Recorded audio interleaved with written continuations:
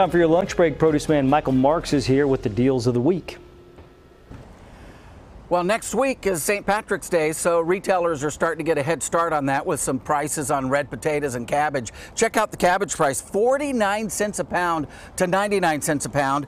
And one of the things I want you to do with your cabbage, make sure when you get your cabbage, there's green on it. See all that green? Those are the outer wrapper leaves. Now, every day that this doesn't sell, uh, the green grocer is going to go in there and they're going to pull off these outer. Oh, by the way, when you're picking them out, here, when just roll off, roll off that top layer. See that top layer? Roll it back. If it cracks, see how it cracks? That's fresh.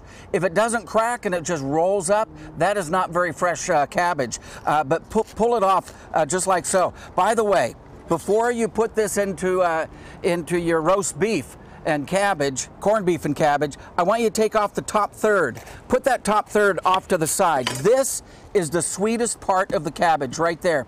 So put that off to the side. You can make some coleslaw. If you want to put it in, go right ahead. But you also, uh, what I want you to do is make sure you're going to cut out the very core of this uh, of this cabbage. Very, very bitter, so just cut that out. So cabbage, 49 cents a pound. You need some red potatoes if you're gonna have bubble and squeak.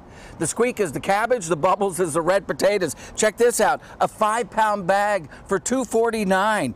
Uh, my math hat says that's around 50 cents a pound. Really, really good prices on red potatoes. Yukon Gold as well. Very, very cool.